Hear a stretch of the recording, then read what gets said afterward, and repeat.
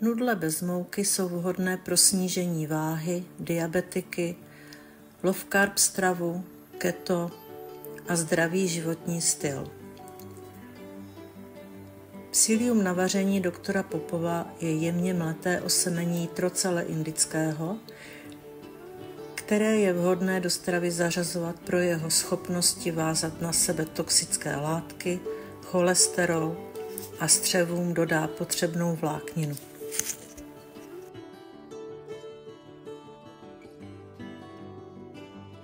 Je-li potřeba ze stravy z dietních důvodů vyřadit mouku, vždycky je problém, jak nahradit přílohy, abychom se co nejvíc přiblížili normální stravě a neměli pocit, že strádáme.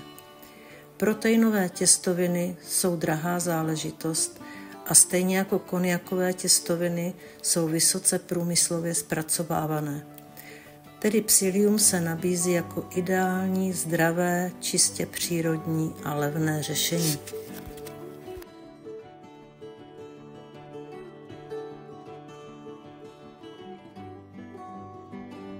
Rozmixovat dvě vajíčka s lžičkou psília je velmi snadné a proteinová zavářka je na světě.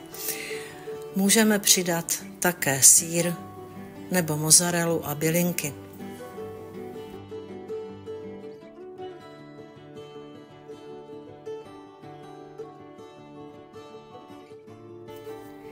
Rozmixovanou hmotu tence rozetřeme na plech s pečícím papírem a pečeme v předehřáté troubě na 170 stupňů Celsia asi 10 minut, aby placka byla vláčná a dobře se krájela.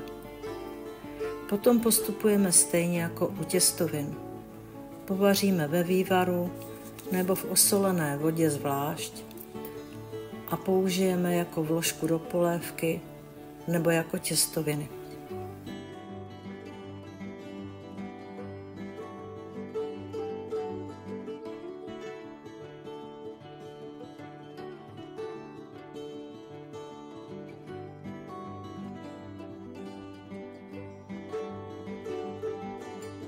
Snižovat příjem sacharidů a mouky patří ke zdravému životnímu stylu.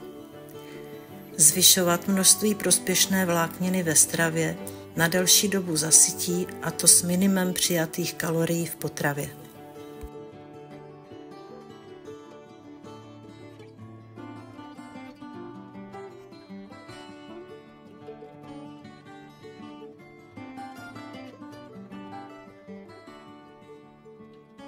Velké množství receptů pro zdraví, krásnou pleť, optimální váhu, bez mouky a cukru naleznete na mých webových stránkách www.studiotana.cz.